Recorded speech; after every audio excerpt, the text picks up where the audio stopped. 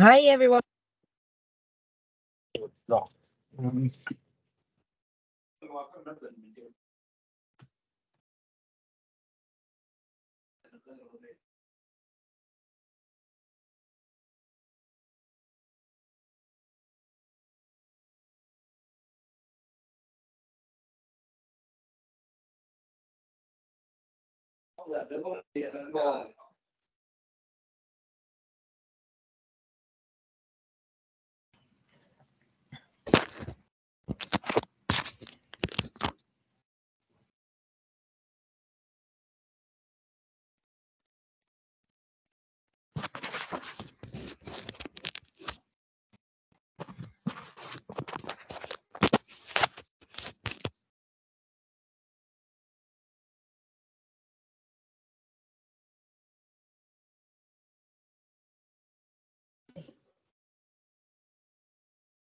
Hello, everyone. I'm just testing if you can hear me. Hi, Astrid.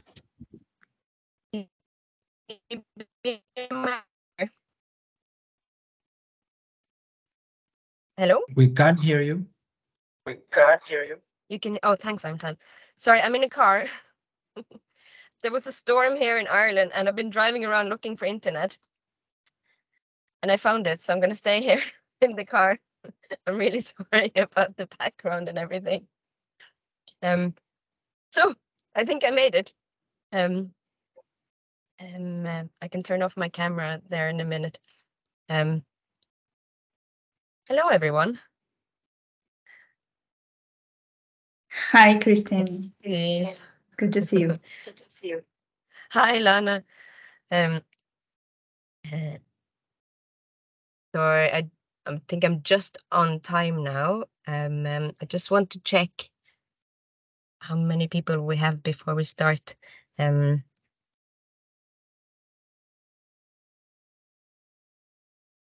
you would think Ireland was, um, you know, internet safe area, but it turns out it's not.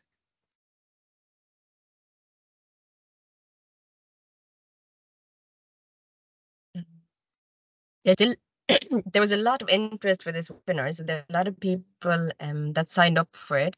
So I think we'll wait a couple of more minutes um, just to allow them to arrive now in the morning.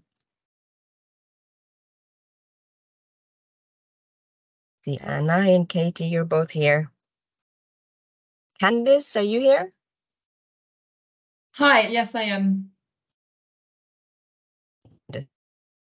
And uh, I think I see him there. Hi, Danny yeah, or I'm here Daniel? well. Danny is better. Okay. Okay.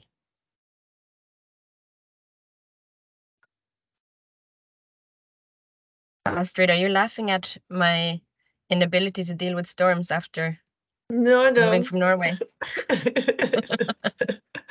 I'm used to You're the- this network. Exactly. So should I be. So should I be.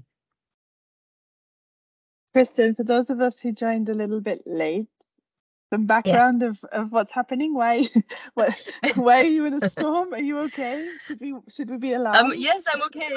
Um, no, it's okay. Um, uh, but there's in the village I live in in Ireland. There's no um, uh, the electricity is down, so there's no internet or or anything. So I was driving around. Look, I came to uh, through a few different villages and I found internet. So I've parked up now. I was uh, able to text um, a few people saying, if I can make it, will you facilitate for me? Yeah, but now I'm here. So that's the background. I'm sorry.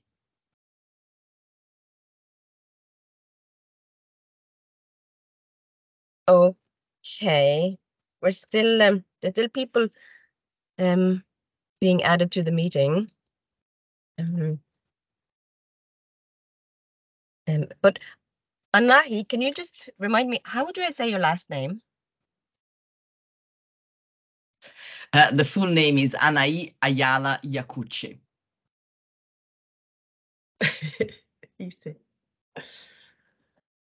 Everyone comes for me. Sorry, you froze just as as you were about to say your last name. Uh, it's Or maybe I Ayala froze. I'll turn off my Iacucci. Yep, I Anahi Ayala Iacucci. Well done. There we go. There we go. um, right. Um, so, um, just to let you know, everyone, this um, webinar is being recorded. Um, so the recording is already on. Um, and I think that um, we can start I can just introduce the Community Engagement Forum um, before handing over to uh, our contributors today. Um, and then I might turn off my camera after that, just uh, so I can uh, um, make sure to have internet here as well. Uh, so welcome to everyone today. Um, it's great to see um, so much interest for this webinar. Um, the Community Engagement Forum, we're um, uh, an online interagency community of practice on community engagement in displacement. Um, so we're part of the CCCM cluster, but open to practitioners from any sectors and clusters. And um, one of the things that we do in our community practice is organizing events um, like this, where we invite uh, experts um, to contribute to discuss um, community engagement topics that have been requested by uh, the members of our community practice. So um, um, this has been a long-awaited um, uh, topic now uh, on digital um, complaints and feedback mechanisms and accountability systems. So we spent some time preparing for it and getting really good at contributors. Um, and today we have um, um, uh, from IOM, we have um, Danny Coyle and uh, Candice Holt. Um, Danny is uh, Zite Manager Technical Consultant, and uh, Candice is um, uh, also Zite Manager Technical Consultant from NORCAP to IOM. And then from UNHCR, we have Anahi Yao. I already forgot how to say it, Anahi. Ayala Iacucci. Thank you. I'm sorry about that. Um, who is a consultant um, under Accountability to Affected People Division of International Protection in UNHCR. And we have uh, Katie Drew, um, who's a Senior Protection Officer um, in UNHCR under Accountability to Affected People um, Division of International Protection as well.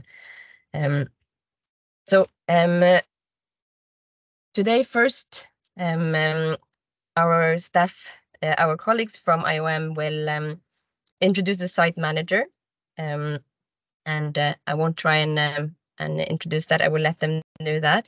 And then we'll have some time for um, Q&A immediately after that before our colleagues from UNHCR present the systems that they um, work with. Um, and if you want to um, post any questions in the chat while they present, you can do that, and then um, um, and I can um, share them afterwards in the Q&A, or you can just raise your hand afterwards uh, when we have some time for Q&A uh, immediately after the presentation. Um, so there you go. Um, and I think I'll just hand over to IOM directly to Danny and Candice, uh, if that's okay with you guys. Danny, Candice? Yeah, that would be great. Thank you. Let me just share my screen so I can put up the presentation. Let me know when you can see it. Let me just share this screen. Yep, we can see it. You see a chat, a, a chat now. Your desktop. Um, okay, what about now? Australia. Now you yeah, got it. now VC Zite Manager. Fantastic. Okay. Um, so thank you for having us here today. As christian said, my name is Candice, and I'm here with uh, Danny to talk about Zite Manager and more broadly talk about IOM CCCM's approach to CFMs.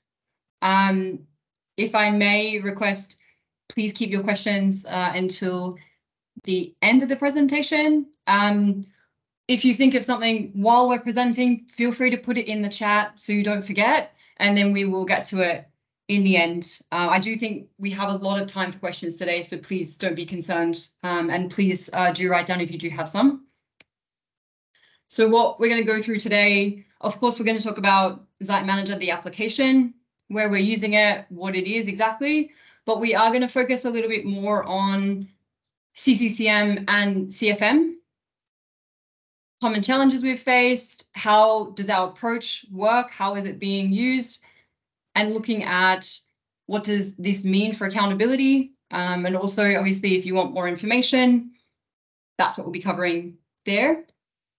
I'm going to hand over to Danny to introduce a little bit more about Zite and answer the first few questions you can see there on the slide. Go ahead, Danny. Uh, okay, so the the first place we always start is is kind of this general question of what is Zite Manager? What do we mean by that? Um, because this is something that has changed over time, and we'll talk a little bit about the history. But I think in in succinct, uh, we have noticed that uh, a lot of times people want to focus either on you know, programmatic elements of a CFM. So maybe let's say whether we're collecting feedback through a hotline or a help desk. And then there's another realm of, of kind of technology, which is uh, what technology we use to collect that.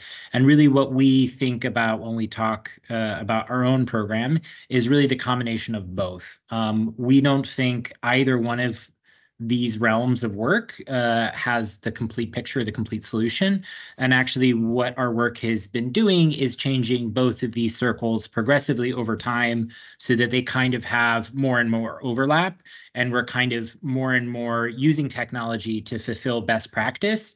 But, but you know, best practice is the target, right? Like what we want to achieve as programmers and what we think as uh, programming staff are kind of our objectives and what is most important to us. So it's just to be aware that when we talk about Zite Manager, we're not really it's an application. Uh, unfortunately, like the name's confusing. So it is an application, but it is also referring to progressively what we've come to think of as is an approach um, to how we manage data, how we collect information, things like this. Um, okay, so I'm going to tell you a little bit about the application because I think you know this uh, specific forum is a little bit focused on technology, and we didn't want to leave you uh, hungry. Uh, what Zite Manager is is basically, I think, you know, I'm I'm kind of excited to see so many people on the call. Uh, we'll go into the history, but when you start working with CFMs uh, or feedback, feedback represents uh, a different type of data than I would say that we're we're good at handling as humanitarians. So most data that we collect that constitutes feedback needs something to happen, right? Like it asks for us to do something as as an uh, an audience, right? So that means that we need to maybe refer it, we need to update it, right? We need to make sure this person who missed a distribution gets included in the next distribution, something like this. And we didn't really find many tools out there. So what we started doing was we we didn't really want to reinvent the wheel. Um, we looked at private sector solutions private sector solutions uh, we were really wary of because of the cost implicit in those solutions. Um, and we really had seen a problem of feedback at scale. So any sort of solution that gets more expensive as the volume of feedback increases is really bad for humanitarians because often our budgets don't increase over time, they decrease, right? So we're really looking for something that returns kind of uh, efficiency at scale. And what we what we have right now is a very generic platform. So nothing about Zite Manager as a data platform is specific to CFM. That said, we have built a data platform uh, with the idea of building in functionality, features, things that are useful, important, uh, helpful in managing feedback. Uh, so, so basically, at the end of the day, Zite Manager is not just a CFM system. It's actually just a data management platform. Uh, it's based on Kobo ODK. So what that means is when we collect feedback, we're actually using an ODK form, and that gets submitted into our platform, and we work with it there. Um, however, you know, we originally started with ODK, which is, is the reason we were really attracted to a solution that allowed us to continue with it. But ODK has a lot of problems. I think I've seen a lot of systems that are ODK based used for CFM and they they struggle, right? Because it's very one way, right? You submit something into the ODK server and yeah, uh, that's kind of it. Like you have to download it and then you work with it in a different system. So ours is more of a system that that allows you to kind of continuously interact with those forms. Um, yeah, so basically I think the third point is just what I said. Um, off of that, once data comes into a platform, we realize that we, you know, there's a lot of work we were doing manually. So like, for example, we know we're not going to refer this issue because this issue is not something that we can refer, you know, we're recording it as an FYI. So all of those, you know, we want the system to automatically close that issue or do something with it. We'll talk a little bit more about this later, but we built in all these ways in which we can determine automatically what happens as information comes into our system. And we really wanted to to kind of de-emphasize the role of the IM. And by that, I don't mean to say IMs are not important because I think they are very much like uh, important for us. But we didn't want IM, like what I see around the world are IMs copying and pasting information and sending it to people. And I think that in this day and age is really silly. I think that's a really bad use of people's time. So we really wanted a system where people automatically had access over the data they needed to have access to. They could edit it, they can download it, they can interact with it without needing to pick up the phone and call the IM or send them an email. Um, so that was again like that's really big emphasis for us is giving people access to the data they need to. So not more data, but the appropriate level of data. Um, yeah. So how does this work at the end of the day? There's there's kind of different uh, pieces to our our platform. We have um, like a web app application, which means that you can go to the website, log in, you can interact and do everything on a website. Uh, you also have a mobile phone application that works on Android phones, and you can work offline, online in the mobile phone, which is really important for us. Um, yeah, but but basically they're they're kind of the same. They allow you to do different the same thing. Um, you can do less in the mobile application than you can do in the web, but uh, I think that makes sense. So yeah, that's a little bit about the application. We could talk for hours about it. um, there's documentation online. If if you're really curious, you can set up a, a call with us after maybe. Uh, okay, so history. Uh, I uh, was hired in Bangladesh as the CWC coordinator for IOM site management, uh, and I was tasked with let's say fixing or making the CFM work. Uh, we had a very large CFM that was set up during the emergency phase. We were receiving around 8,000 pieces of feedback uh, a month. Today we receive around 15,000 pieces of feedback a month. Uh, it deals, you know, with any sort of issue within the response, any sort of sector, uh, all the different agencies working in Cox Bazar. So as a result of this problem, you know, you can see maybe why we took this very automated organized approach to how we manage and process feedback because we just if we looked at how many people we would need to do things inefficiently i mean it's huge. And already the team in cox's is very large. So as a result of that we kind of you know bangladesh was where we initially refined a process. And then with some support from gffo we were able to scale that solution uh, to different contexts around the world and we've started doing different things because we we find a similar set of problems related to any sort of data or any sort of uh, process that that doesn't just you know end with one one step right that has a multiple step process so any sort of process management is really what we have started looking at or any sort of uh, data that is live that needs to be updated on a very regular basis this is really where i think we've found a, a niche and found that that we've we have a, a workable solution um, yeah, I mean, I think the rest is just numbers and, and information that you guys can look at uh, whenever you want. That's all. Is this me as well, Candice? Yes, please continue. Okay, sorry. Um, okay, so uh, why why is CCCM really interesting with respect to CFM? Um, so for me, I think CCCM is is a really important actor in where it sits because we often have a huge uh, range of community engagement programming, as people know, um, and we also play this coordination role at a local level. And really, what we see is our CFM, at least you know when I was thinking about the initial parameters and having these discussions at Cox Bazar, you know, we we don't really have the luxury of saying to someone hey, sorry, we're not going to take this feedback because it's not about us. Go go speak to that other agency. Um, that doesn't really work when you're doing community engagement. Um, especially when people think of you as site management, they think you are site management, you are in charge of this coordination, you are talking to all the other agencies, you have a management role in this uh, area. So, you know, please help me.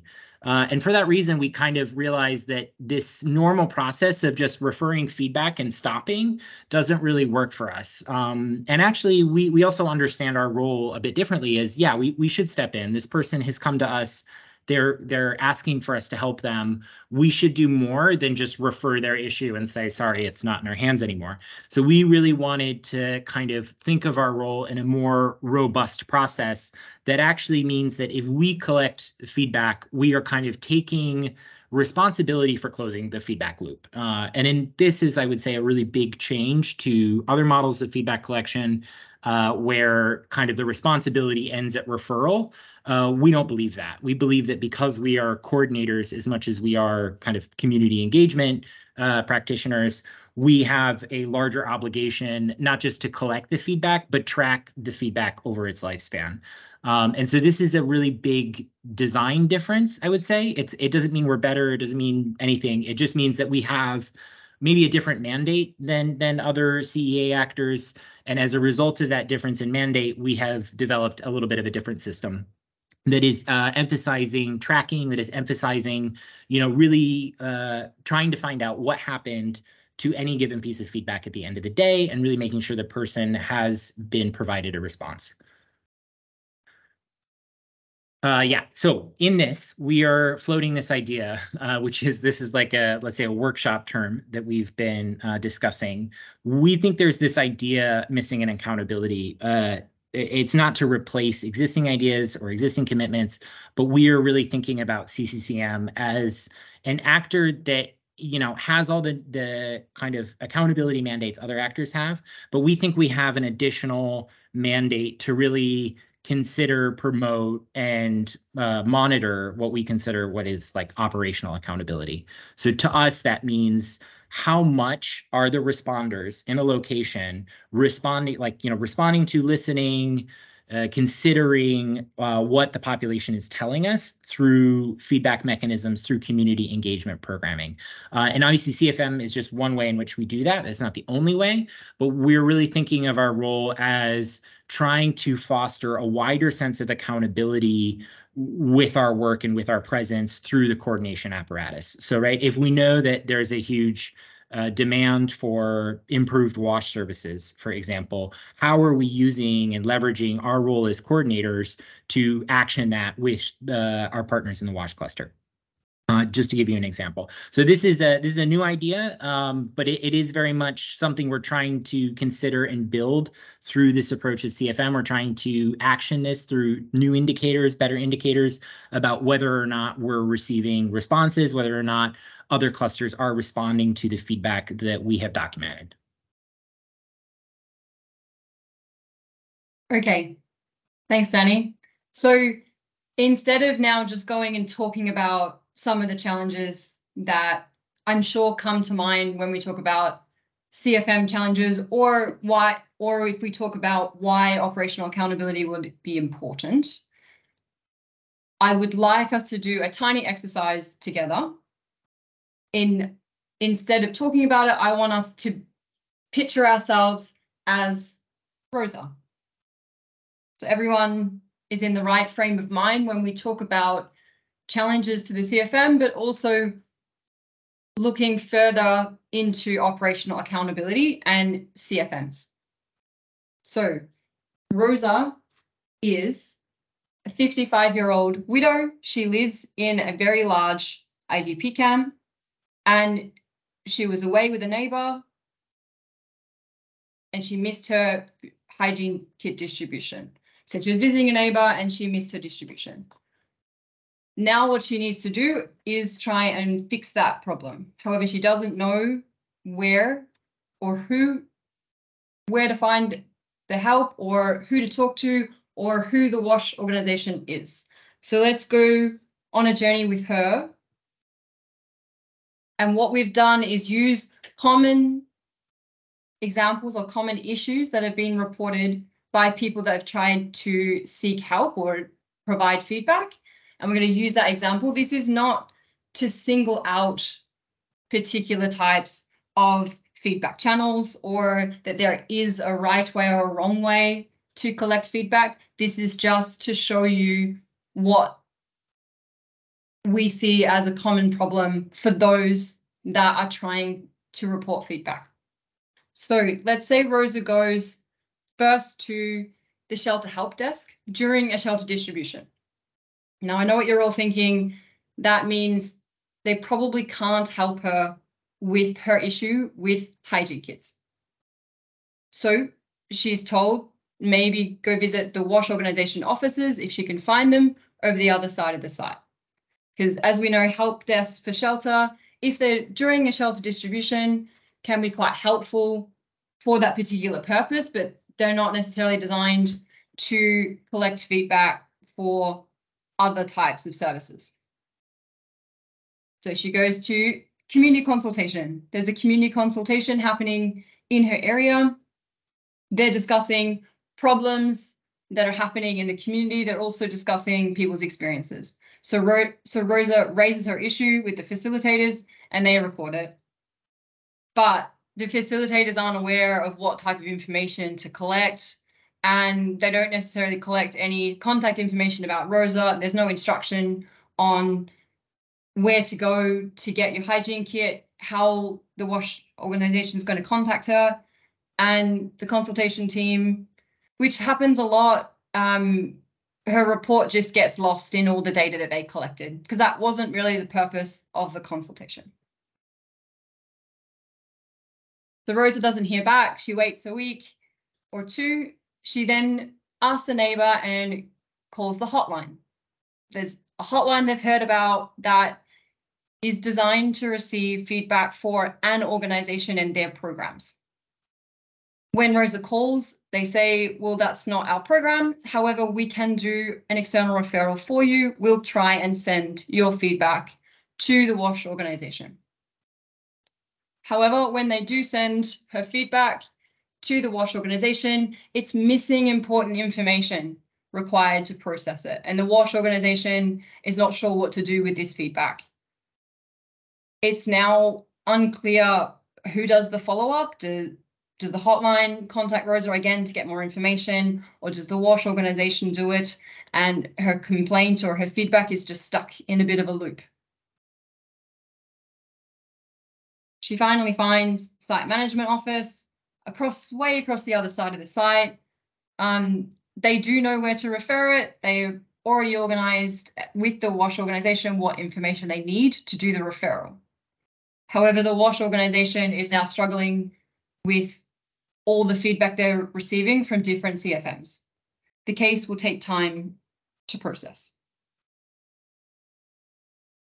So what are the main challenges that have happened when Rosa has tried to seek support for a missed hygiene distribution? There are, I mean, the obvious ones is there needs to be more community knowledge about CFMs and how do we make CFMs more accessible to someone like Rosa trying to report her feedback. However, let's look a little bit more closely at a collective humanitarian response. What are our challenges actually actioning Rosa's feedback? Because it's not necessary, not necessarily it's helpful if Rosa knows where to go, but it's not necessarily Rosa's role to find the right person or the right feedback. If we're looking at operational accountability, we are trying to create a space where we can refer within each other and organize and process that for her. You can see some of the challenges that are starting to appear is that there's many different avenues and there's and there seems to be a lot of focus what we've seen in most places in collecting feedback and referring it, but not necessarily in the follow up and the response. We don't know what happened to Rose's feedback. Did the WASH organization get to Rose's feedback? Did they receive that or not. As a response, we can't see. We can see that through different systems, there might have been some reports of a complaint, but not necessarily that something had happened to that.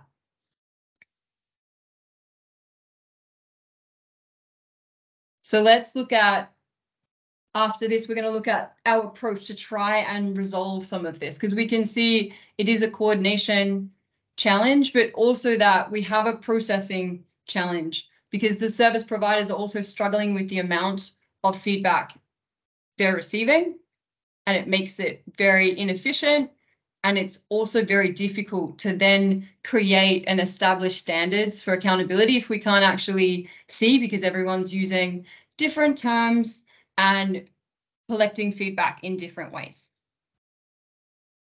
Danny, can you explain what's happening and what we have tried to do? Not saying we resolved everything, but what we have tried to do to resolve some of these challenges. Sorry, I was muted. Um, so this is where we've um, kind of want to emphasize that this is not just a technical like technical problem, right? Candace has been telling you a story that is largely, you know, a programmatic story, I think a very real one. Um, this is where we see kind of various adjustments that need to be made. I mean, one of them is really saying, okay, you know, uh, Rose's problem is not a secret, right? She's going around like desk to desk to desk to try and get someone to help her with this issue, right? One of the main problems technically behind that is that the systems that different agencies are using or even within the same, let's say, camp or area that she is, they don't really speak to each other. They're not really recording her issue in the standardized way, you know. So, so someone's maybe recording it as misdistribution, or maybe she, uh, someone else is saying she's upset with the distribution, right? Like what her problem is might be recorded differently in different areas and then people are kind of uh, stopping the process as soon as the issue is or is not referred. Maybe right, she's getting different answers different places. So we really want to kind of centralize this information in one system. So regardless of whether you know where it's being collected, we're really recording it the same way, and then we're going to manage it the same way, right? D depending on what the issue is. And then we also really want to be transparent with this process. Like as, as I said, Rosa is coming us. She's not saying, please keep my issue secret. This is sensitive. She's saying, please help me get a solution from the concerned party. Um, and as a result, I think we can manage this process a bit different. Um, so yeah, this is a little bit, you know, in a nutshell, we can break down our approach and values in different ways, focusing on uh, transparency, focusing on efficiency, um, focusing on collaboration, right? Like I, I don't think Rose's issue needs to be kept secret. I think I think she's asking us to work together, right? She's asking us as site management to help produce an answer from WASH. Uh, again, in terms of like closing the feedback loop, Rosa wants an answer, right? Now that answer could be positive, it could be negative, but I think she is entitled to, you know, at, at minimum an answer uh, from the people that she has gone to. Uh, and, and again, this is really big for us in terms of, you know, not passing the buck in terms of our responsibility for engaging in Rosa. Um, finally, like in terms of this idea around data minimalization, this is a little bit connected to how we categorize and think about the the ordering of feedback but oftentimes we see people collecting a ton of information from Rosa. When was the date of the distribution? What did you receive? Have you received things in the past? What is your ID number? Without really understanding what is actually necessary to refer this issue. Like, have we sat down and said, when someone misses a distribution, what information do we need to collect from them in order to make a referral effectively, right? And then having a system that helps you on like know that. Like, I you shouldn't have to remember that as a field staff like what pieces of information are required for each and every referral you make. Because I will tell you, there are our field staff are very busy, they're very hardworking. I cannot remember all of these things off the top of my head. How could they? So what we've done is we've we've you know tabularized that. We've turned that into an automated process so that as you understand what Rose's issue is and as you categorize it correctly, the kind of prompts for what information you needed are automated and based on agreements with those clusters that, that done in advance. Um, again, so where is this leading us? These kind of detailed uh, approaches and values are kind of leading us to a larger standard and a kind of uniform system. So we we can disagree in different contexts with how individual referrals or, or pieces of feedback are managed. We can identify bottlenecks, we can identify problems, but the, I th I think the thing I'm most uh, proud of uh, with respect to my work is not a perfect system, but a system that shows you where it is imperfect. And it is often imperfect. It is often very flawed, uh, how referrals happen and how referrals are actually processed, being processed, not processed within a response. And I, I think that's really the key of what we're going for is because I, I don't think taking the approach that any one system is going to work and that all the issues are going to be resolved is really effective. We are really going for a system where we are dealing with things the same way, but we can change over time uh, when we need. Uh, and we also have an understanding of what is and isn't being done and what has and has not been done. Next slide. Okay, Um, I also want to talk a little bit about, yeah, Hi, Hi, this is Christian. Um, uh, thanks very much. Um, um, I just want to ask you to maybe can you round up um, um, the presentation a little bit to make sure we have ample time for Q and A um, and for UNHCR's presentation as well. yeah, sure. So Okay. maybe let's skip this Thank slide. you. Uh, Candace, and the next slide. Mm, Um, This one and then- probably, yeah. yeah, I mean, basically, uh, in short, we we make standards for a lot of things. I mean, we have models for how feedback is collected. We have feedback like standards for how things are referred. I think the information is on the slide that you guys can go in after. You can always catch us later. Uh, yeah, in the interest of time, we'll speed up through this.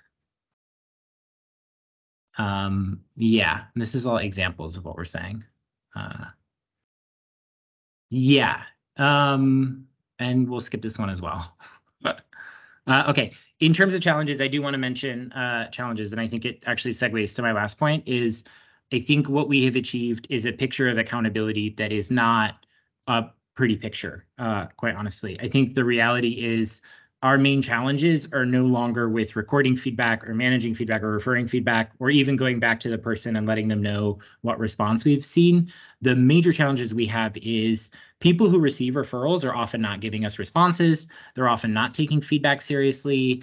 They're often favoring their own internal assessments and targeting exercises over what we have told them we are receiving through our various channels.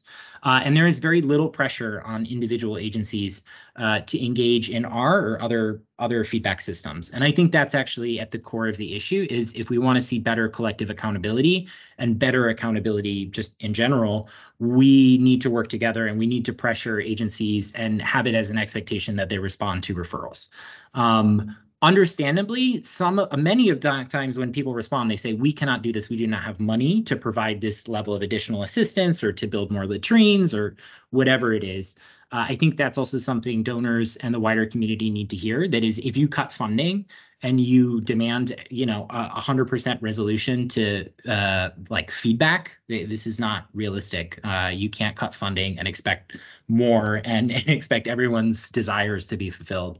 Um, I would say, as as bleak of a picture I've just painted, I want to say there there are good examples that do exist out there. We we have seen them, and we can point to them, um, but unfortunately, yeah, they're they're fewer and far between.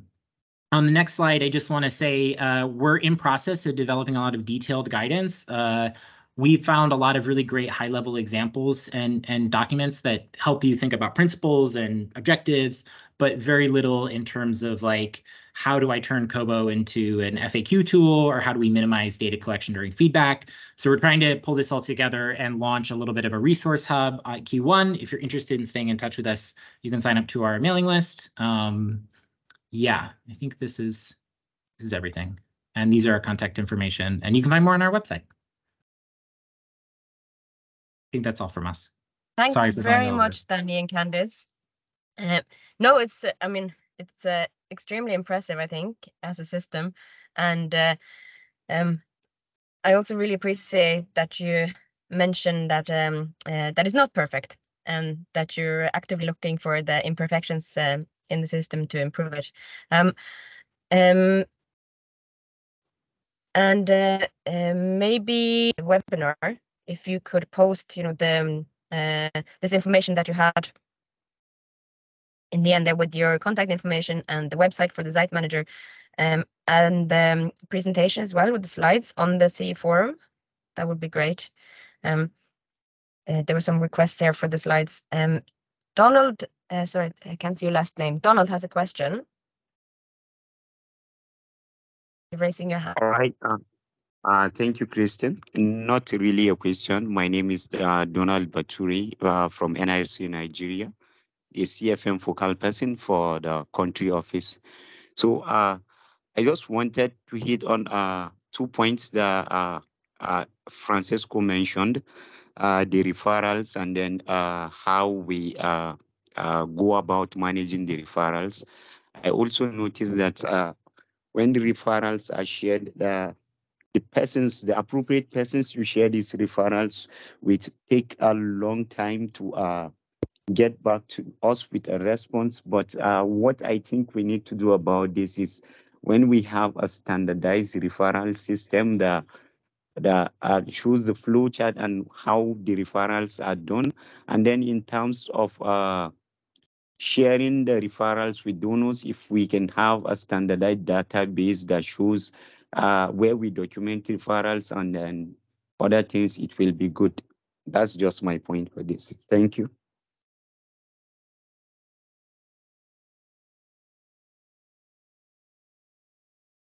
Thank you, Donald. Um, do you want to, um, uh, uh, Danny or Candice, do you want um, to share any response to Donald? Uh, not anything more than, yeah, we agree that there needs to be um, more attention on referrals and working harder to make sure there is more accountability on um, what service providers are doing and whether we can do replies. I'm not sure. I mean, in terms of central database for the donors, uh, obviously it would depend on what information. So we do have live operational dashboards that are available on our website to see exactly what type of feedback is coming in, how fast they're being responded to, and what stages different processes are at. But in terms of sharing any information about the actual person that's given that feedback, that obviously is not something you would share outside of the provider that needs to respond to that. Thanks, All right, Candice. thank you, Christine. Uh, of course, I'm uh, I'm aware of the data protection and then confidentiality about sharing uh, those informations. So what I was uh, looking at is uh, in terms of uh, more needed assistance, these referrals can be shared to see these are the status. It was shared with these uh, partners, but unfortunately they don't have the funds or resources to uh, uh, to support this. So maybe, like you said, uh, just some uh, particular information about the referrals can be shared. Maybe it can give more, uh, it can give more room to funding and other things. Thank you and over. Thank you. Um, good points, Donald. Um, uh, and Ruxi, um, your hand is up next. Thank you, Kristen, and thank you, colleagues, for the great presentation. This is uh, Ruxandra from the Global CCCM cluster. Um, to begin with, it's really wonderful to hear about the different partners, CFMs, and uh, how they function and the challenges met. This is a very great way to share this kind of practices. Um, I just have a quick comment and a few questions uh, for colleagues. Um, firstly, I think we need to recognize that CFM is an integral part of CCCM programming and um, complaints and feedback is a component that needs to be implemented generally fully by uh, by those uh, with the site management responsibilities. So um, essentially, when um, when a complaint is raised, um, that should be intrinsically tracked and feedback should be provided by the camp management site management agency um, directly uh, as in i would just uh, just refer to the fact that there was a challenge referred to with regards to to feedback not being provided um, to those that raised it, but a referral pathway would have been the response. I have experience from several locations where CCCM was implemented um, and and the, my experience at least if i can refer to previous previous work that i've done with drc for instance um, in camps we had accountability officers which indeed indicated the referral pathway but also were responsible to connect again with the person raising the referral and providing feedback uh, to the person of whether or not uh, our own camp management efforts of coordinating and supporting um, people's needs were resolved on our side or not and then also understanding from the person what challenges they had faced in their own efforts to resolve their issue. So um, I think, yeah, it just emphasizes the role that CCCM needs to have with regards to communicating with communities um, overall. Um, I would have some questions as well with regards to the data collection aspect. Um, if colleagues could please just clarify, um, is this a systematic data collection exercise that's being rolled out, uh, you explained through Kobo, or is it that um, the complaints or feedback from the people is received spontaneously whenever those are raised? How exactly does that work? That would be very interesting to understand. Um, and just with regards to coordinating at site level um, aspects which may not uh, necessarily have uh, have response from the agency responsible. Um, we've encountered that from a cluster coordination perspective with other similar CFM um, systems in several countries. Um, and I suppose the, the response to that or the very quick solution that comes to mind is just indicated to the cluster coordinators, uh, be those subnational or national if the situation remains, and then there's some coordination that takes place at that level. And of course, again, from the coordination team, there's also that connection to donors that can push for, you know, if you don't have a uh, wash response or there's a, wa a, wash response that's continuously inadequate in a site, I guess an elevation mechanism uh, would have to fall into place. Um, similar systems have been also piloted in several countries with regards to that higher level uh, coordination and referral mechanisms. I'm referring here to a, a Yemen example um, that's available in the in the clusters case studies for more potential reference. Um, but yeah, I would be just generally interested to hear more about how that system, how the Zite Manager system works in that in that sense. Um, and then with regards to the indicators that are chosen or how exactly are the um, complaints tracked against. That would be something else that would be interesting to understand whether or not that's a coordination that takes place at site level with those providing services and those indicators are related to that? Or is there need, again, I'm thinking from a cluster coordination perspective, um, is there need for those indicators to be more top level or how what's the thinking at the moment on that? I would also agree with some of Francesco's uh, questions, but I'll, I'll let him also ask um, if he'd like. Thank you. Okay, can I field those questions? Sorry, Francesca, before you go, uh, just so I remember what they what they were. Thank you for those. Um, so if I'm understanding correctly, your first question is about who does the collection? Is this something that is scheduled or is spontaneous? So for CCCM, they have it, it depends on the program. So different CCCM missions, different responses. You can build a CFM program around Zite Manager maybe in, for example, in Ethiopia, they have uh, CCCM staff that visit the sites once or twice a week. And one of their roles is to collect uh, feedback, or they can run community meetings. There's many different ways you can do this. Or for example, in Bangladesh, you have um, CCCM staff in the camps every day, and there are dedicated CFM staff. There is absolutely different, very, very different ways you can do this. And Zite Manager and the forms can be applied to any type of feedback collection. So you build your CFM program around the response that you're in. Um, I'm not completely clear on the second question, so I might jump to the third for the moment. So how are the indicators for collection uh, selected? So this is to do with the referral standards.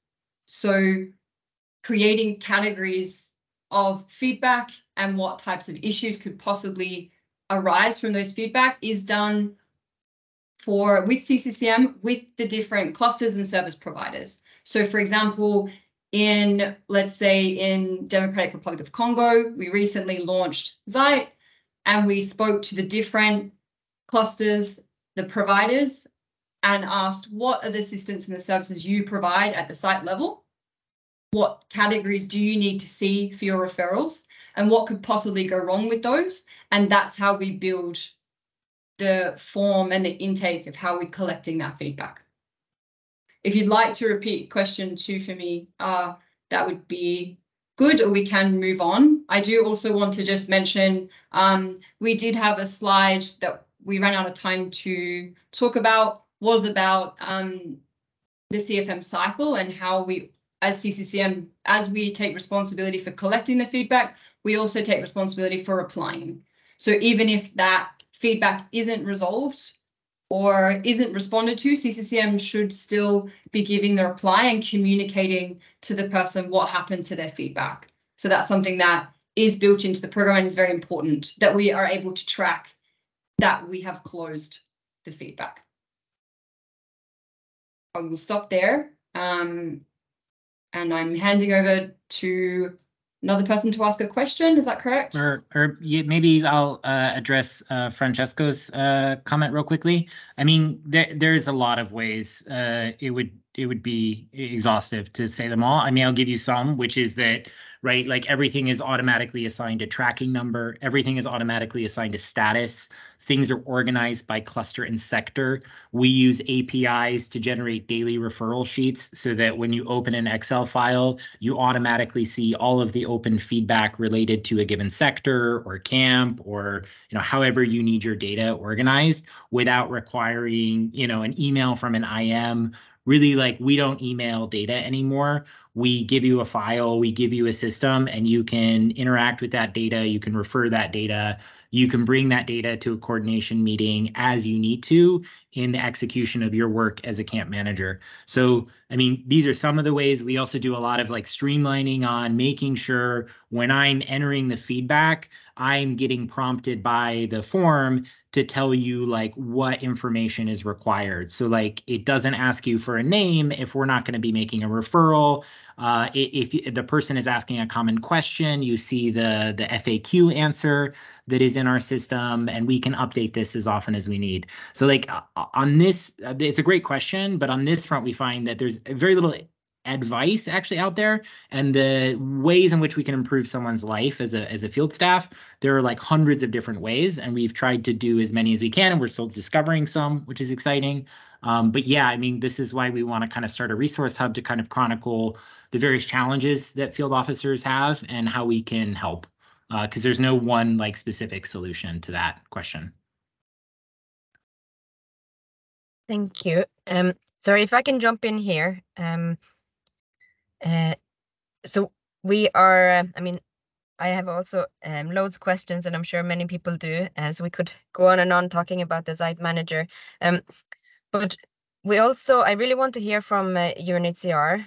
Um, um, so if I can ask Pedro and Donald and uh, Deng also had a question, I think, um, or if there's any unanswered questions um, uh, from you, Francesco, that um, wasn't clarified. If you can either put them in the chat to Danny and Candice now, or wait until after uh, has presented um, their system, and we can have uh, we'll have more time for uh, Q and A then. Is that okay? Um, so, so I'm not forgetting uh, or save your questions. Um, and then I can uh, hand over to Anahi, I think it is. Or is it uh, Katie?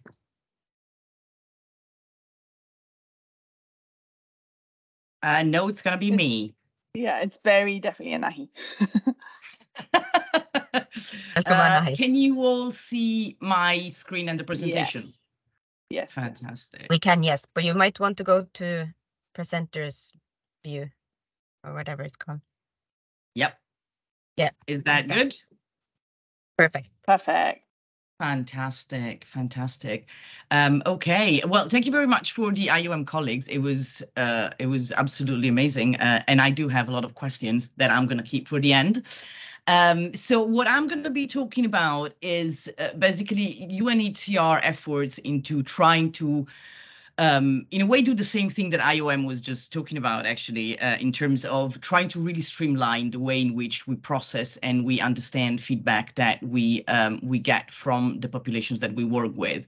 So this started this is kind of like a bit of a journey for um, for UNHCR because uh, it started with the project that was done in between 2020 and 2022 and it was a project where we were specifically looking at how can we actually make sure that everything that we collect from the affected population that we work with actually ends up being used for us to get better programming and better operations uh, on the ground. And the reason why that project started was that in both in 2020 and in 2018, um, UNHCR had a couple of research and evaluation uh, reports that basically highlighted the fact that while uh, the organization was able to collect a lot of feedback or using multiple channels, uh, different sectors were involved into doing that. There was a challenge with the way in which that data was then put together and used as a way to inform programming in the long term.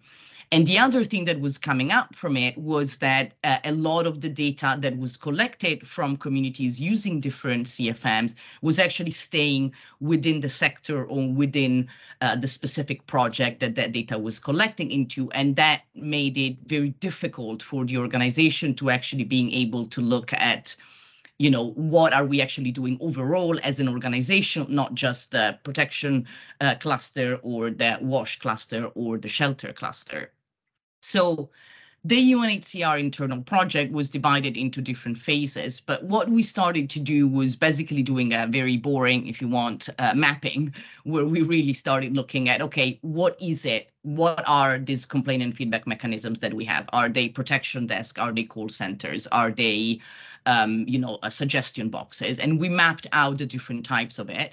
And we did, we mapped out how much of the channels were uh, digital or not digital, but also what kind of tools were we actually using to process the data in the backend? Were we doing it manually? Were we doing it uh, using um, Kobo or Excel spreadsheet and so on? So we wanted to figure out what the landscape was.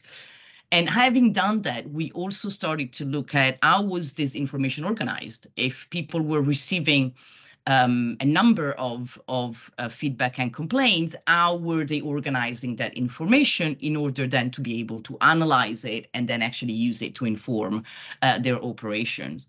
The second part of the project was taking everything that we've collected and actually trying to come up with something that could help streamline this process. And what we came up with was that if we could guarantee at the minimum that every single CFM used on the ground internally by UNHCR, but also by uh, UNHCR partners, use the same data structure. We didn't really care about the tool that they were using, being it digital, being it paper-based. We could actually, at the end, call, put all of the data together and analyze it together. So we basically looked at what is the intake form, what is the data structure that is being used to collect feedback. That also speaks to what information do you actually need at the minimum to be able to respond and do something. And then we looked at once we have collected that data, what do we need to extract? And now it needs to be presented for the different actors within the organization to be able to use it because not everybody needs the same information, not everybody needs the same type of analysis. Now, this project um, ended in December 2022. Uh, it, it, involved around 12 different countries within the organization, and three of them actually piloted um, the different final products that we created with this project. One was this feedback form or logbook, uh, which is very simply a form um, in uh, different situations. One of the things that for us was um, also interesting about this is that the feedback form can be deployed regardless of the tool that you used. It can be deployed as an online form, as a Kobo form, as an Excel spreadsheet, as a printed out paper form, as a prompt form for suggestion boxes. So the idea is that it could be used in whatever channel you are, um, you've decided to use or deploy in that situation. And then we have uh, connected to it a Power BI uh, analytical dashboard that basically is specifically tailored to the different sectors. What information do they need to see and how do they need to drill down to that information?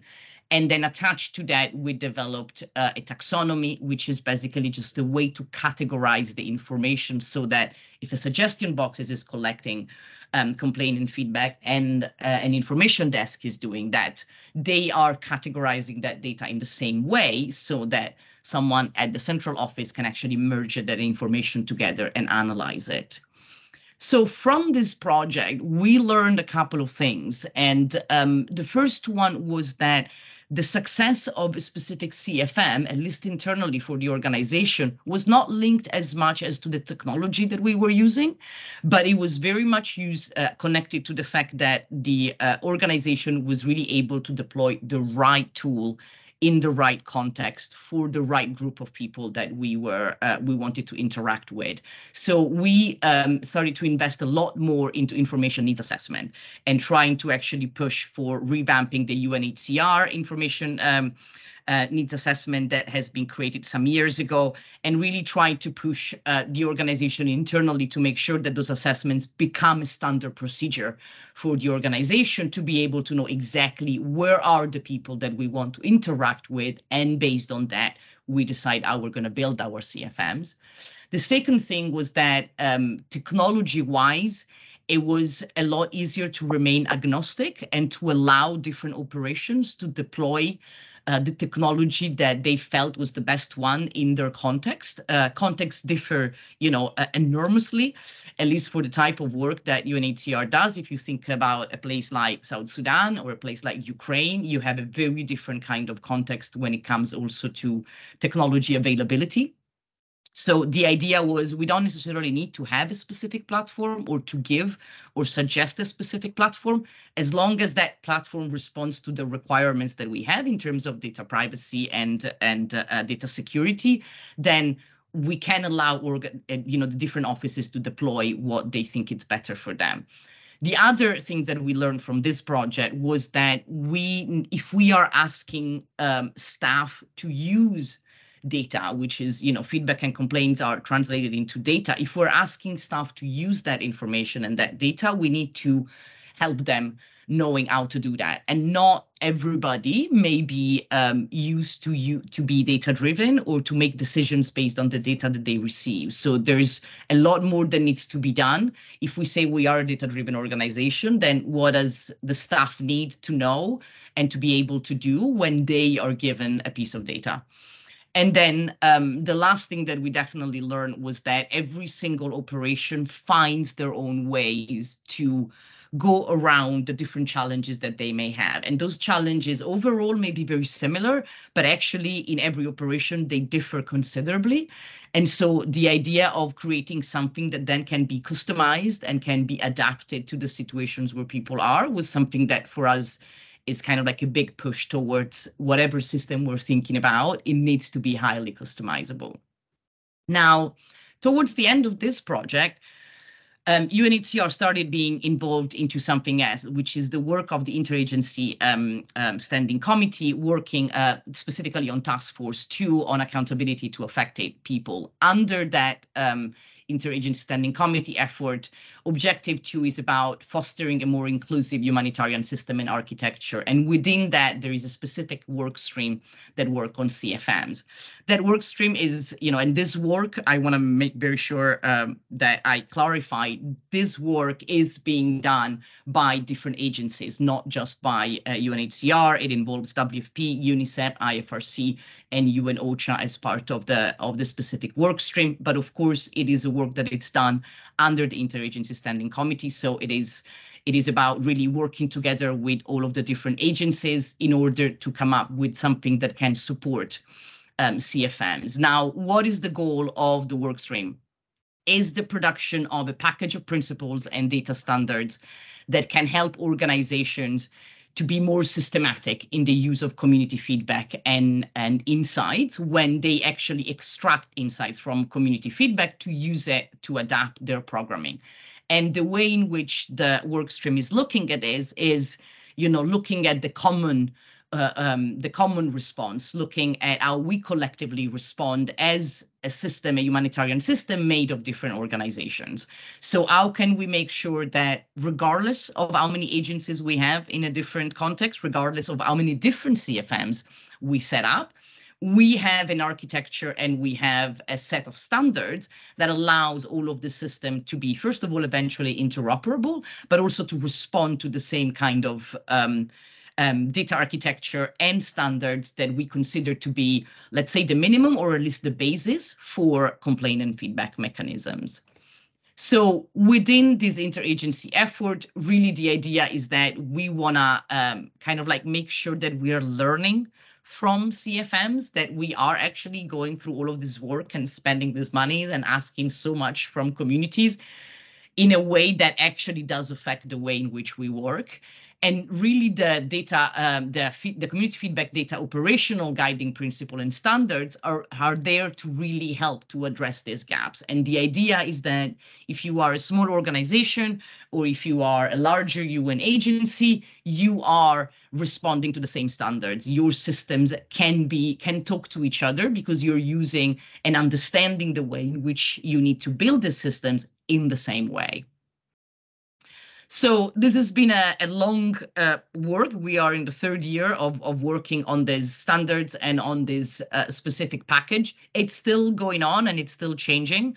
And um, we are now at the stage where, um, you know, all of the different agencies are working together to actually test these, um, these standards and the tools that we've produced um, actually in real-time situations and in operations on the ground what it's coming up from it and what you see now, it's probably going to change because we we are now just in the process of receiving feedback about the standards.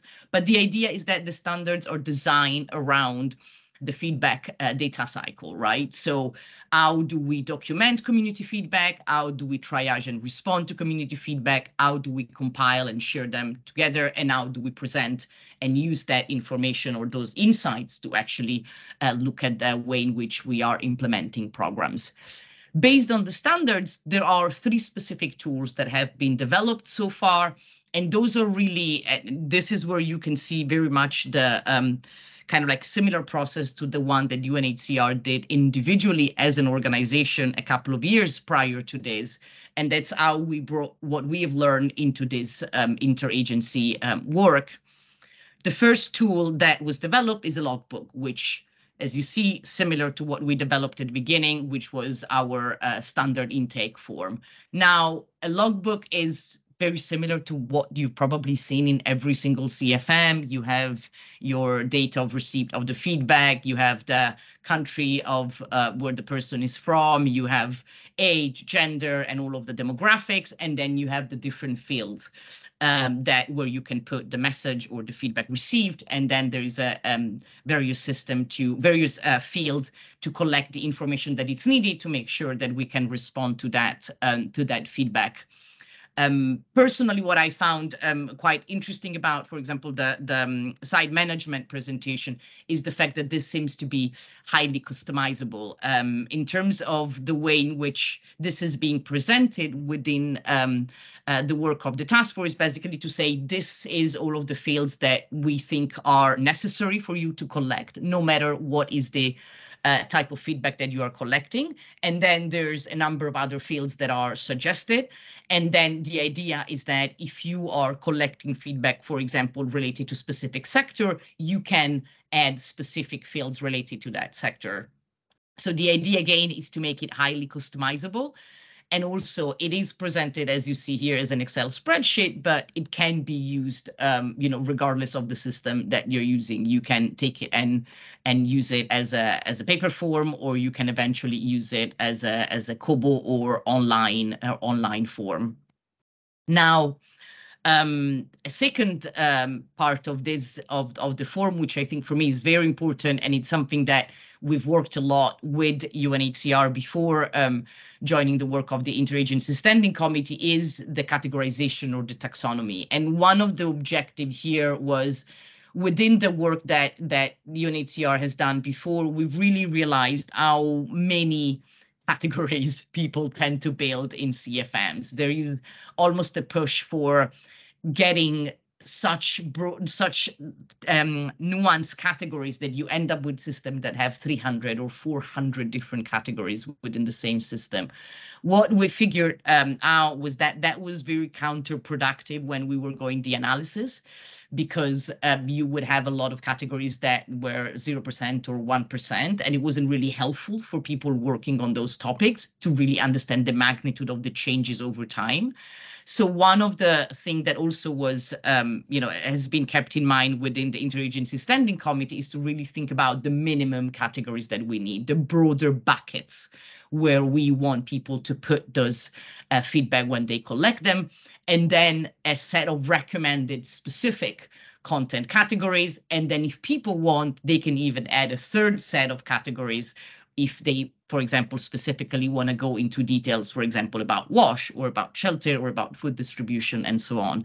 So the idea is, again, building something that is a larger bucket of broader categories inside which then every organization or every system can build their uh, way of categorizing and uh, packaging the data as long as the broader category remain uh, remain the same.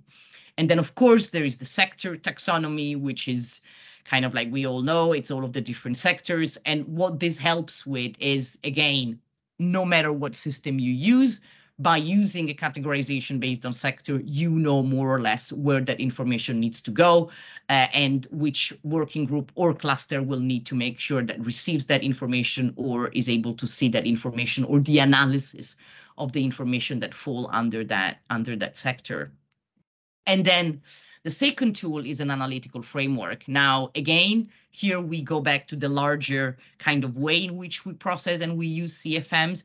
Are we able to take all of the data that we collect in these systems and insert it into a framework that allow us to actually gather insights and intelligence from the data that we've collected. So this is an example analytical framework, a template that has been uh, put together by, uh, by the task force. And the idea is to help people taking the data that they have and place it into um, a system that allow us to them, you know, make specific and informed decisions. Now, every organization and every unit, uh, if they want to, can create different analytical frameworks. Every framework have different uh, focuses. The idea here is to present the general one so that then organization can be able to create their own um, way to look at the information that they are um, looking at. Again, what we're doing here is that we're moving a little bit away from are you able to respond? You know, are, you know, going, for example, for the examples done, done before by site management, you know, is, you know, is Rosa being able to get her issue solved, yes or no? Here also what we're looking at is how many Rosas are out there you know, how many people have not been able to do that? And is it an issue with our distribution uh, kit not being distributed in the right way? Is it about people not knowing when the distribution is? Is it about something else? Is it about information and communication? So this is really about looking at kind of like the broader picture of what, how are we taking all of this information and actually looking at the kind of like systematic problems that we may have in the way in which we are uh, delivering those services. And then the third tool is an action tracker that is um, kind of like a very simple, if you want, kind of tool is if we you have collect your feedback and complaint, you've been managed to put all of them together, you have analyzed them and you've looked at them within your analytical framework, now you know what needs to happen. So now you can write down what needs to happen and you can track it over time. And again, this is not necessarily about, oh, Rosa needs to receive a new uh, a new kit. This is about oh we need to look at we need to change our procurement or we need to change the way in which we do communication about the distribution of the kit. We need to get a better communication campaign that lets people know where do they need to go. So really about how do we track the different actions that come up from the analysis of the information that we have um, collected.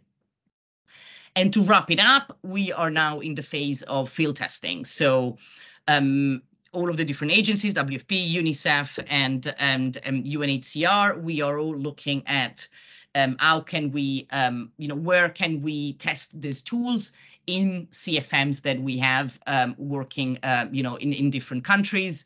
Um, this is a fantastic slide put together by um, the person helping us with um, with the uh, with the task force, and um, this is about the different countries and places where um, we are looking at possible either testing or where we are collecting specific feedbacks on uh, specific feedback on the different tools.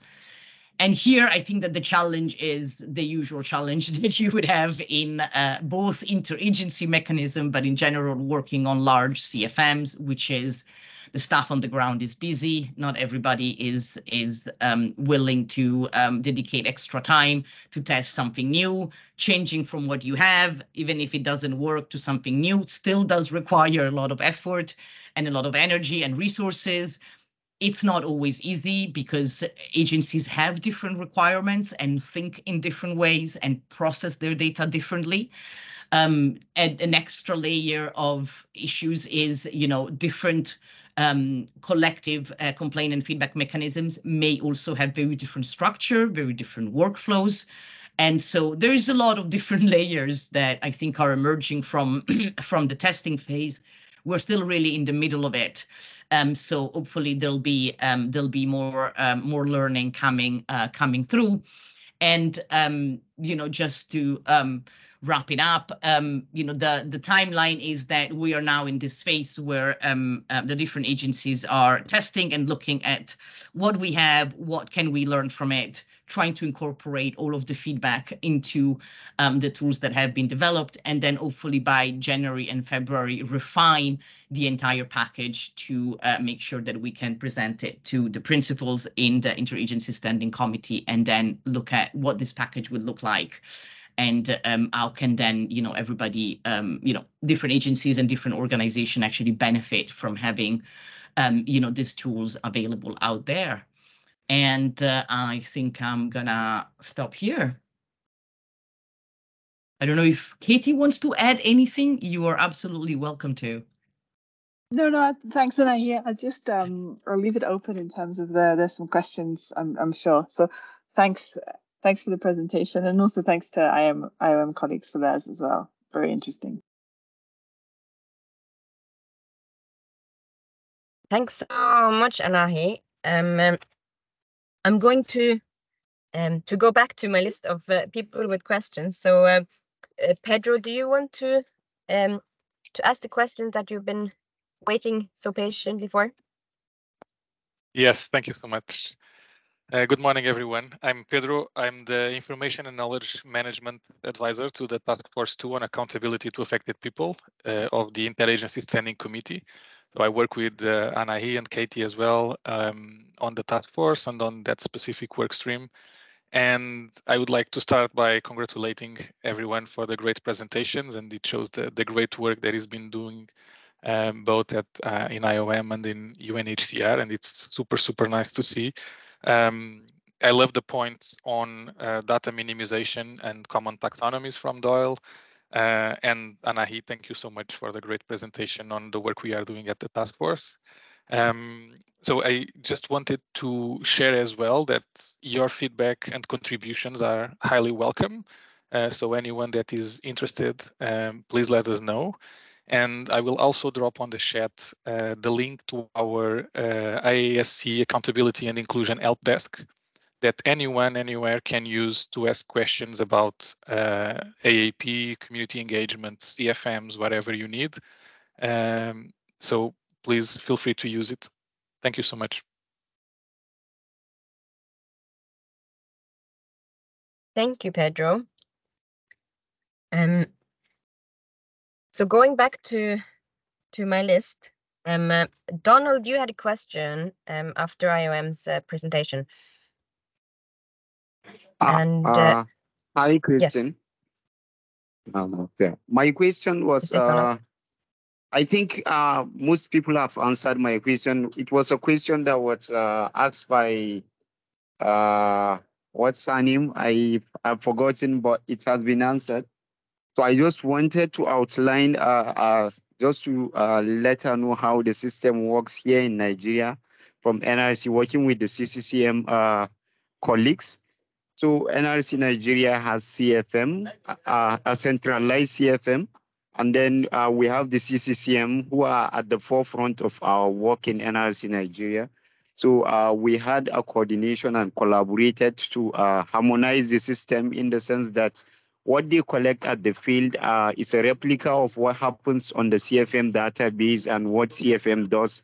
So the categories of feedback are there. It's uh, collected on a Kobo form and all the categories are there. So not just collecting feedback and then categorizing it manually, but uh, automatically when uh, we collect, the CCCM uh, colleagues have been trained on how to ca- classify these feedbacks into different grades. So that is how uh, the approach works for us in Nigeria. Thank you and over. Thanks very much, Donald, for sharing your example. Um, um, while I hand over to Deng for his question, for their question, um, to um, uh, Anahi, there's a couple of questions there in in the chat. You might want to um, and see if you can answer them there, or if you want to address them later. So Deng, are you there? And would you like to ask your question still?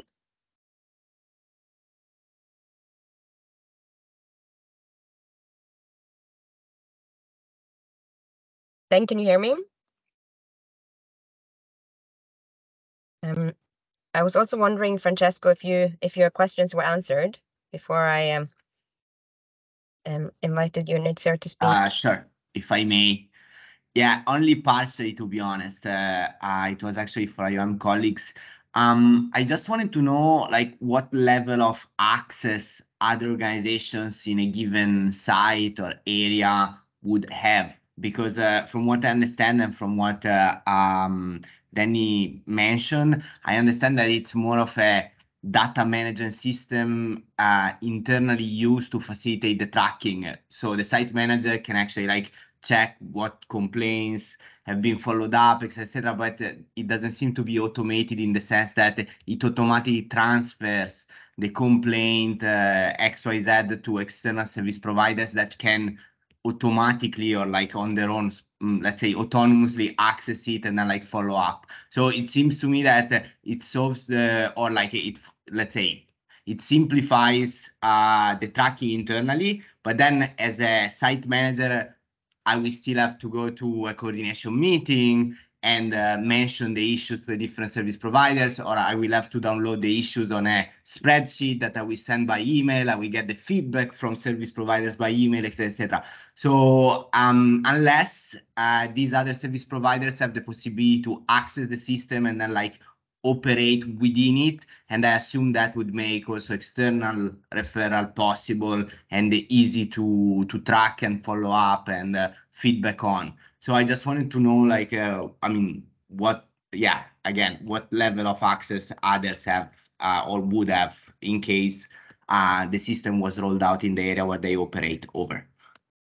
Uh, hi, Francesco. Great question. And unfortunately, there's, uh, I mean, there's a few answers here. One is that um, wherever we work, uh, all of our feedback is made transparently available on this, like a public dashboard. So this is Somalia's.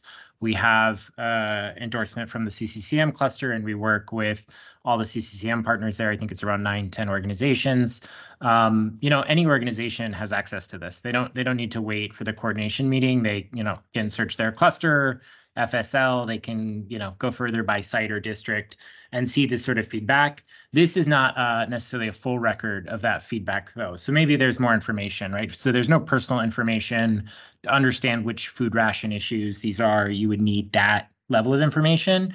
we we have always said, right, if you have a mandate, like if, if you're receiving this referral, we can provide you a greater level of access. So for WFP colleagues, for UNHCR colleagues in some countries, uh, we have provided them direct uh, API linkage. So if they open a, a, file or use the API, they actually get a daily update from us on the status and the details that we've agreed should be shared.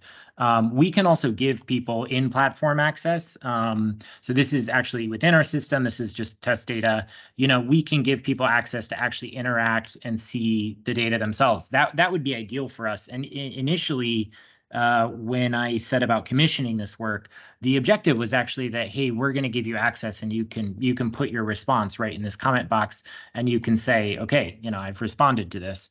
Uh, we have yet to find a context where that level of partnership or commitment uh, exists. Um, so the, the biggest, and this is why we keep coming back to how much of these challenges are technical and how much of these challenges are, let's say, political or programmatic, because we we can interact many different ways with a referral partner. We can give them, you know, automated APIs. We can send them emails if you really want. We don't think that's a good idea because of the volume, but um, yeah, we can do emails. We can give you access within our system. You can access it through our website. So, you know, we, we know that no one agency is going to really agree to do things one way, um, especially when we kind of look at how many agencies there are and how many responses. But even with all these different ways, we find really low engagement. So in some ways, I would say, yes, we have automated the sharing of this information, at least to a gen generic level, like uh, on our website. And in terms of more specific details about like who exactly it is, we can automate that further. But you know, we find that agencies don't even want to kind of work with us to achieve that often, which is quite disappointing. I mean, I, I would say to some extent this work is new, uh, and I think it's an adjustment, as uh, Nahi was saying, that you know there is a, a let's say a, a, challenge of data literacy. There is a challenge of people being wary of how much additional commitments this constitutes. But, you know, I think this comes back to accountability is an existing commitment. You have an existing commitment to do this. This isn't additional work. We have streamlined the referral process as much as possible. We can continue to adapt and make changes to make your life easy. It, none of this uh, absolves or removes your responsibility from giving a response. Um, but yet that's kind of, I would say, our largest political challenge around the world in every context where we work. Uh, hopefully that answers your questions.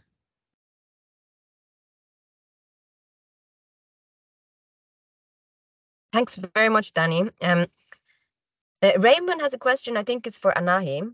Um, yeah, I I reply actually to Raymond directly saying that yeah, um, absolutely, um, we're happy to share and to get any feedback uh, on it. You can write to me and I'll send it to you, or you can also write to Pedro uh, but definitely the more the better. And then there was another question um, from Hadia, I think, about the level of disaggregation of data. So in terms of data, uh, disaggregation of data, the demographic, it's uh, the very kind of like simple one. It is vulnerability. Um, it is uh, age, gender, and uh, and then there is um, but but what we have left is that different organization may want to collect different um, kind of information. So, for example, UNHCR always adds either nationality or ethnicity because that's in in some context that's very very relevant. So uh, the idea is that the basic is what everybody you know normally collects, and then you will add um, you know the different variables that you as an organization think that it's necessary for you to collect.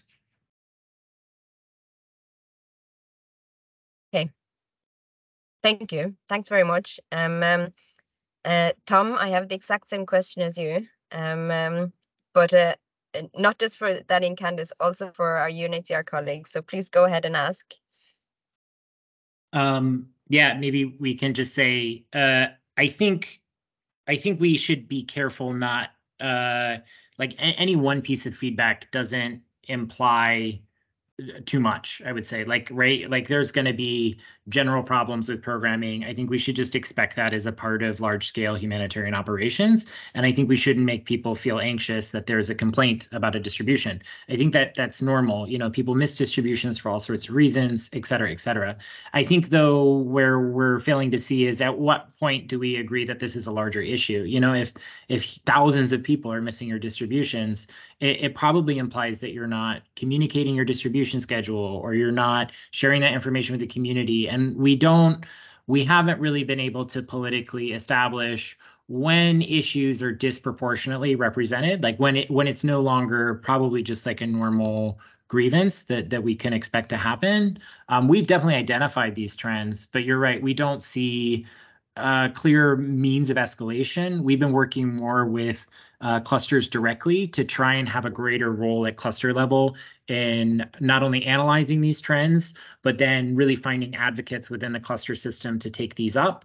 But obviously, you can imagine, like, you know, some of this uh, ties into funding constraints, some of it ties into, you know, people being a bit defensive. So this is these are difficult to address issues, but I think the point is to look at trends and not individual cases. Um, because I don't think like right if someone says they missed a distribution, I wouldn't say that it necessarily implies anything about the program that needs to change. I would need more information. You know, we, we would really need to have a more in-depth investigation on what happened there. Okay, I'm gonna. uh, Tom, do you do you want to um um to um ask your question in public here? Okay. Um, hi, everyone. Um, it's a question really for Danny and Candice on the topics of CFMs being louder so that the challenges that are communicated widely within the mission and that other actors or units within the organization take their responsibilities to provide feedback a bit more seriously. Um, and it has always seemed to me that one of the biggest potential bottlenecks is um, is managerial buy-in within the mission. Um, and I was wondering, like, there are the dashboards and there are other forms of um, there are other ways that we can communicate the data that we're receiving. But um, what are your thoughts about logging the specific actions taken in response to community feedback, changes made to program activities or adjustments to service delivery, etc., um, and any modifications to projects that come out of it? Um, and my thought here is that um, how can we prove the value of an effective CFM really? Um, by showing the the changes that come out of it in very specific examples that are well packaged and easy to understand, rather than um, dashboards that look complicated and maybe difficult for senior management to understand if they're in a hurry. Over. I can um, field this one. So yeah, we do log um, for the CFM. We do log all the responses that are provided by the service providers. And the teams do talk about a lot from lots and lots of countries. And I was on a call with Ethiopia and, and um, Congo and Mozambique this week, and they all talking about the biggest challenge they have is now that we can see all the feedback and what stages they're at. It's very difficult to get service providers to respond to those. What do they do if they don't?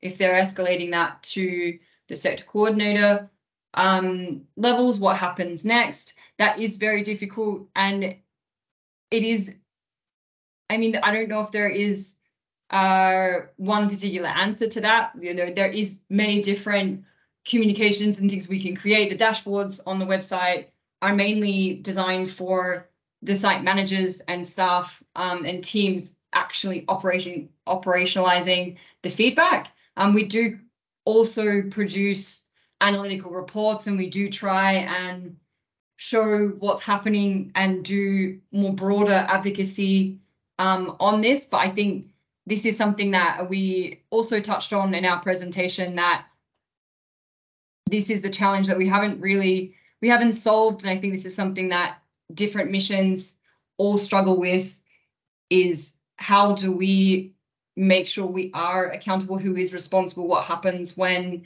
there isn't um, a response to feedback um, and if it, when the missions ask me when i'm talking to the teams that are working on the cfm um, you know, we we talk about obviously going to the sector coordinators meeting, talking about and getting the program managers are aware of the program, supporting them to engage with the program, working with how they receive their referrals. Do they need to change the way they're receiving their referrals?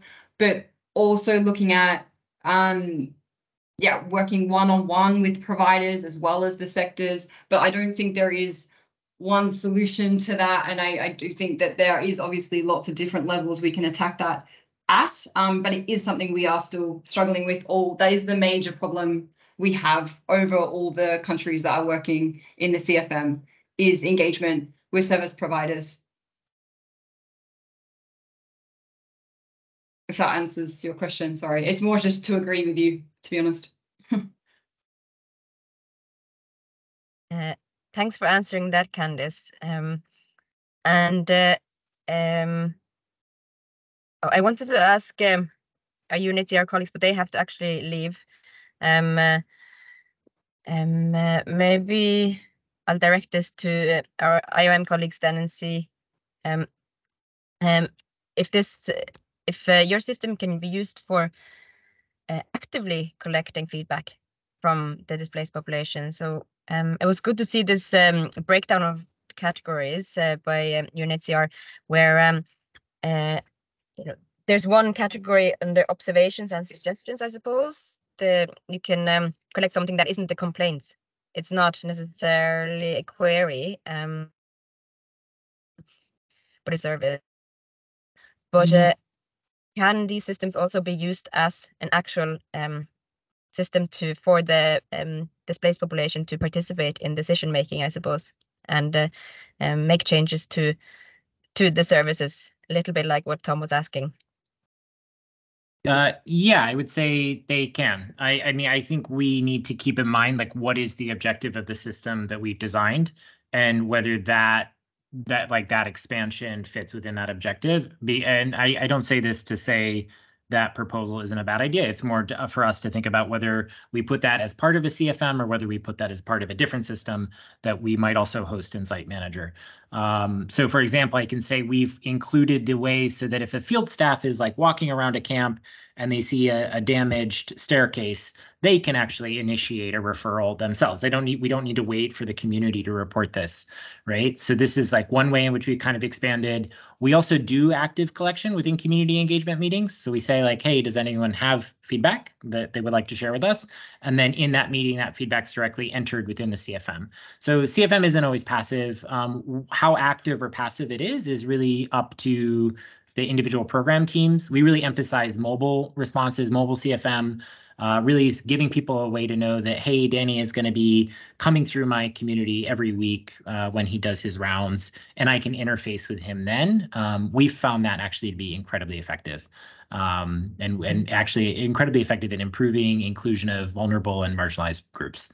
So yeah, I, I do believe in active collection. I mean, how active it is, like whether we're going door to door, I don't think that's necessarily necessary. Um, but yeah, some level of, of proactiveness is, is very important. Okay, thanks. Thanks for answering the question. Um, Pedro, you raised your hand, but um, did it lower itself or did you change your mind? Oh no, just being mindful of the time. I see we are over time, so I will leave it. Um, no, please go ahead. This can be our last question. Well, thank you so much. It wasn't really a question. It was to go back to Tom's intervention. Um, just to say that in terms of bringing feedback to the higher levels of the decision making in terms of humanitarian leadership. It's something that we are very mindful of, and it's something that we are trying to work at the interagency level as well. So within the task force, there's also a work stream working on um, training for leadership for HCT members about AAP in general, but also about bringing feedback to the decision fora so that decisions are made based on people's voices and that programs are corrected and responses are adjusted. Um, so I, I, just wanted to to let you know.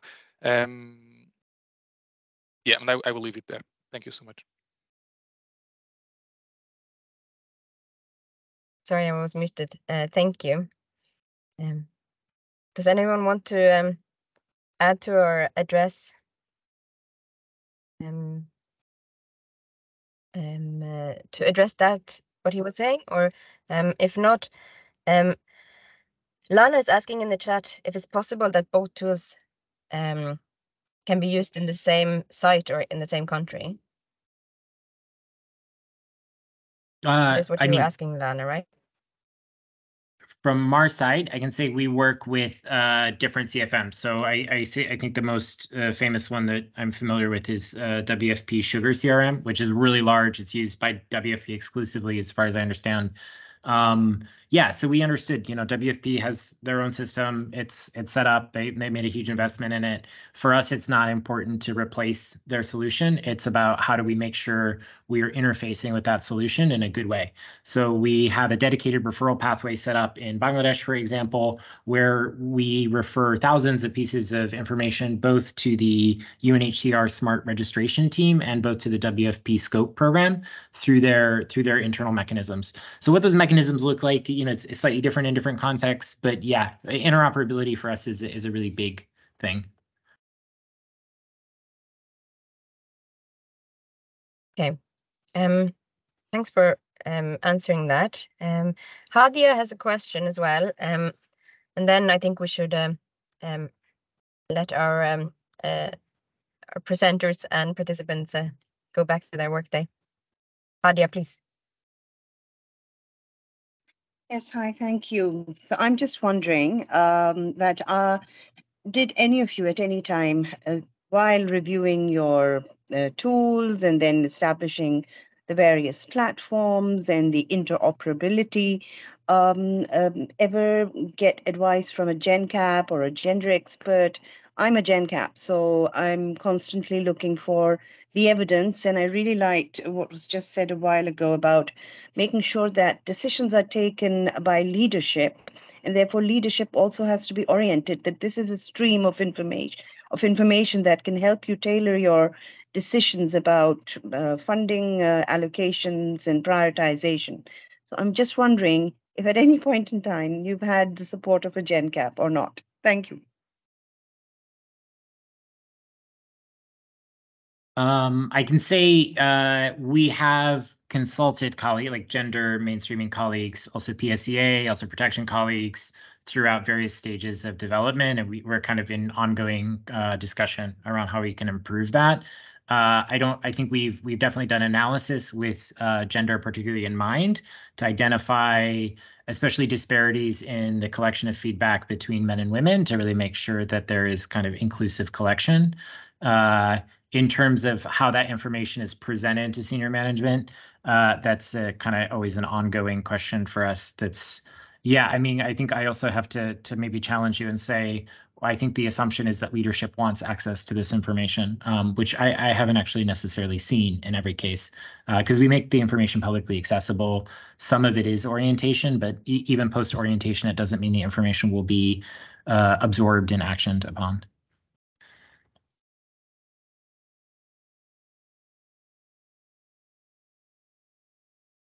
Thanks, Danny, and um, um, thank you everyone for all the questions. Thank you um, Danny and Candice, uh, as well as Anahi and uh, Katie, who are not here right now um, from UNHCR, for your excellent presentations and for taking all of our um, um, uh, many and difficult questions. Um, it's been brilliant.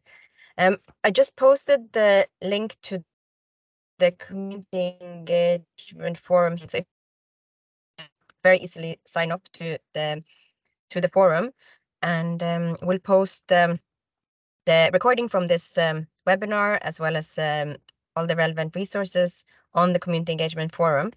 So if you're part of it, you'll automatically be um, receiving that information and we can also continue this discussion there.